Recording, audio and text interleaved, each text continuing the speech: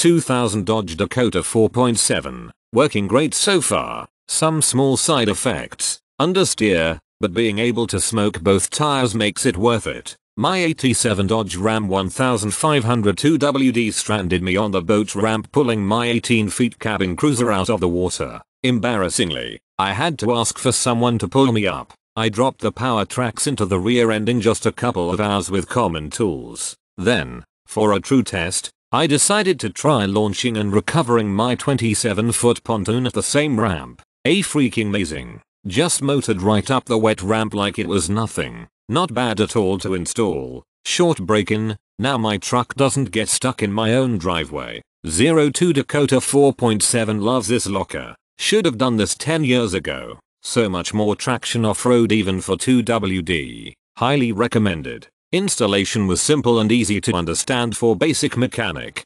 2002 Dodge Ram 1509.25 open differential 12 bolt rear in 3.55 gears if you have rear disc brakes. I recommend removing wheels and unbolting caliper. It makes moving the axle in and out easier to remove C-clips and to uninstall spider gears and install locker sometimes noisy when engaging and disengaging but improves drivability and response. Maybe the single most cost-effective off-road performance modification you can make if your vehicle has an open rear diff. I have put Powertrax no slip lockers in two different Dakotas I have owned. Just installed the second one but ran the previous truck over 40,000 miles with the unit installed and had no performance durability issues. Only reason I did not give it 5 stars was because I felt the installation instructions would be better if they were in video format instead of line drawings. Easy to install, works very well. Installed in 2005 Ram 1500 quad cab Saint automatic with a 3.55 standard rear and 50k miles on 1.